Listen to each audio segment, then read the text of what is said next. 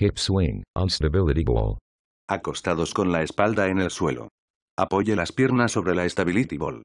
Contrayendo los glúteos y el abdomen, haga presión con las piernas en la Stability Ball, empujándola ligeramente hacia adelante, y levante la pelvis del suelo. Los hombros y la cabeza, nunca deben levantarse del suelo. Vuelva a la posición inicial.